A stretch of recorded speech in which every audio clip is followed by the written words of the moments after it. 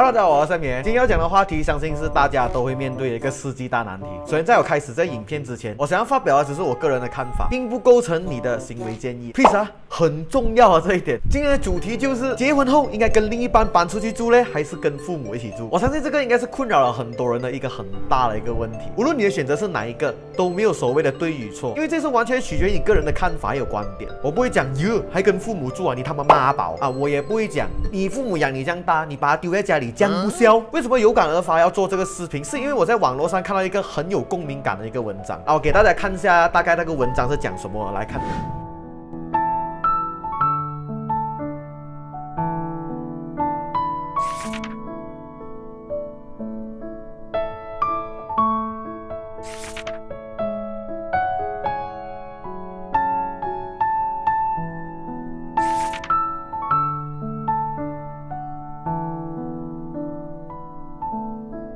基本上就是一对情侣的对话，然后女孩子的一些内心戏啦。女的呢想要结婚后搬出去住，而男的呢却想要结婚后留在家里照顾年迈的父母。其实我看到这一篇文章，我是很有共鸣感，所以我就很想分享一下我个人的观点还有看法。因为其实我之前也是一直在想这个事情。其实在这个 video 之前，我在 IG 就发了一个 story，我做了一个 survey 是关于结婚后应该搬出去住还是跟父母住了。后来我发现到大多数的朋友们都是选择搬出去住，和另一半。组织一个新的家庭，而选择和父母一起住的呢，点击那一个 button 的全部都是男孩子来了，一百八千都是男孩子，所以其实就是说白了，基本上是没有一个女孩子会心甘情愿搬过来跟你家人一起住的。是觉得这个年头的女性都是有这种想法，他们陪你走这条路是因为他们尊重你，他们爱你，他们迁就你。我先稍微讲一下和另一半结婚后搬出去的一些看法，那这只是我的个人的看法，那每个人的处境不一样，每个人的环境不一样，每个人的情况不一样。如果和另一半结婚后搬出去，住呢，你们的开销肯定会比和父母一起住来的更加庞大啊！就算你不是买屋子，你是租屋子都好，你的 commitment 也是蛮大，你要给水电费啊，给租金啦，啊，还有很多很多很多杂费。有一些年轻人都要做工上班嘛，对不对？所以我们就比较回到家会懒，都不想煮东西，所以会选择在外面打包。打包的话，costing 就高了，就比较贵嘛，外面的食物现在你都知道越来越贵了，所以柴米油盐这些琐碎事是完全免不了了，所以会比较难存到钱。如果两个人搬出去住啊，因为消费高了。嘛啊，我是讲大多数人是觉得开销很大，但是我对你有信心，我知道你一定很有钱的。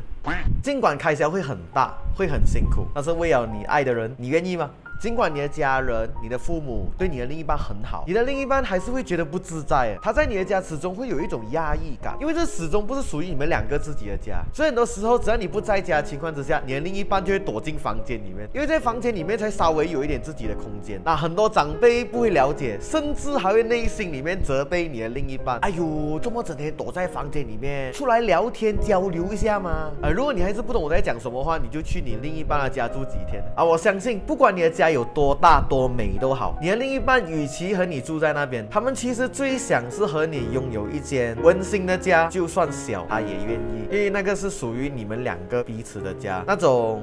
归属感，想象一下，婚后你们一起搬出去住，你们两个为了你们自己的家，各自的去奋斗，以后买到一间更大、更舒适的一个家，不是一个很无与伦比的美好啊！啊，我相信婚后呢，这个小空间会是你们这辈子最美好的时光啊！你可能会想，等我父母百年归老的时候，我们还有很多年可以一起住哦，怎么会这样着急呢？其实，可是真正到了那时候，可能那时候的感觉就不一样了。我相信人生在每个时间点想拥有的事物都不一样，想要追求。修的东西都不一样。也许你在二十五岁的时候，你很想拥有一辆奔驰、奔驰。可是到你三十五岁的时候，你已经有能力买得起了。可是这时候你会发觉到，哎，其实你好像不想要这种东西啊。结婚后搬出去住，会给你带来一种自由感。你们会有更多的私人空间，来完全是你们的私人空间。放工回来很累的时候，你想要几时做家务就几时做家务。结婚后搬出去还有一个很大的好处，就是可以解决一个很大的难题，就是婆媳关系。有时候就是因为双方的相处比较少，有了一种距离感，两个关系变得更加的美好。这就是所谓的距离美。婆媳少见面更有新鲜感。很多人担心搬出去住就会忽略了父母，不理会父母。如果是这样的话，就是你自己的问题哦，因为是你自己没有抽空去陪你父母。你可以买一个地方或者租一个地方是靠近你父母的家，这样子随时回去照顾也是很方便。好，现在我要讲的就是和父母一起住的一些看法还有观点啊，和。和父母一起住，我们可以很方便的可以照顾他们，一回到家就是和他们一起相处了啊。你和你另一半有了孩子过呢，家里又会很热闹、很温馨哦啊。你妈妈、爸爸又可以抱孙子啊，何乐而不为，对不对？就很多人回答我，为什么还要和父母一起住？他跟我讲，想要报答养育之恩。老实讲，我觉得这个是其实一个是被亲情绑架的一件事情。这什么意思呢？被亲情绑架？因为其实你不是心甘情愿要和你另一半和你父母一起居住的，你是觉得你自己亏欠了他们，你要报答他们，你要还债。但是其实你有这种想法是错的。我们陪在我们父母身边，不是因为我们要报恩或者还债。我们陪我们的父母，我们对他好，不是因为我们要报恩，是因为我们爱他们。对我而言，父母是最伟大的人，他们都把他们最好的留给我们，他们牺牲自己美好的光年，为了照顾我们，在我们身上花了多少的时间还有精力，给我们吃喝玩乐，供我们上大学，成为一个更好的人类。但即便如此，我们都不应该被亲情所绑架，因为我每个人都有属于自己各自的人生。首先，和父母一起住会产生比较多的一些矛盾，因为思想和生活习惯都会很不同。每一代人都有每一代人的生活方式。那年轻人的周末是怎样呢？晚睡晚起。那比较老一辈人会怎样？早睡早起嘛。那他们就很早起嘛，到了十一点甚至十二点，你们两公婆还在睡觉。他会有什么想法？你看这两个年轻人怎样来做事情啊？吃东西方面呢？你老公想要清炒，你老婆想要马来风光啊！来了，婆媳关系，婆媳关系呢是每个家家最难念的一个经啊，嘎嘎最难念的一本经。可能一开始大家双方都相处的很不错了，很友善。可是时间一久了呢，不管再好的关系，日子久了啊，看到对方的缺点，就会互相 complain。你老婆 complain 你妈妈，你妈妈。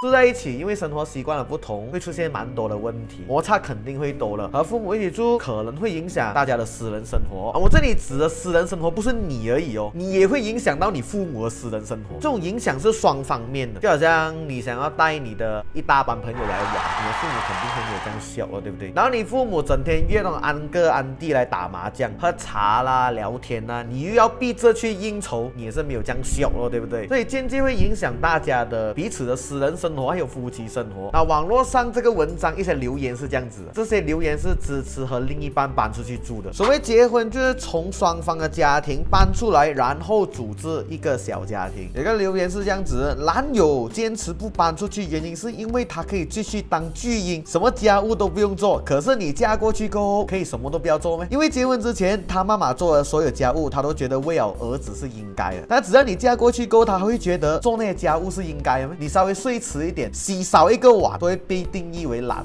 惰，而你男朋友还是一样享受结婚前的生活，继续当一个妈宝。请坚持，每一个家厨房只能拥有一个女主人，分开住是最好的。每个人都想拥有属于自己的家，有归属感嘛，有自主权。啊，有一个留言是这样子的：老人家肯定要有人照顾啊，住在一起有个照应也很温馨。家有一老，如有一宝，何乐而不为？但是我觉得这个口这人应该是男孩子哎，这个留言就是支持和父母一起住的。梦想始终抵不过现实。我现在还和我家婆住，相处的还不错，也没那么恐怖吧。基本上的留言呢都是支持和另一半搬出去住的。那讲到这里啊，大家应该会猜到我是偏向于哪一个选择了？没有错啊，我的选择就是偏向于婚后搬出去生活的那一个群主啊。中间中间，我和这个文章中的男孩的想法是一样的，所以保这一个先和父母。住先，随后才搬出去的一个概念，但后来就改变了个人的想法。那这些纯粹是我自己的想法还有观点，并不促成大家的行为建议啊。因为我想知道大家对于这个话题的一些看法，大家可以方便留言在下面，我们一起探讨这方面的问题。喜欢这个视频的朋友们，不妨点赞、分享、subscribe，并且打开你们的小铃铛。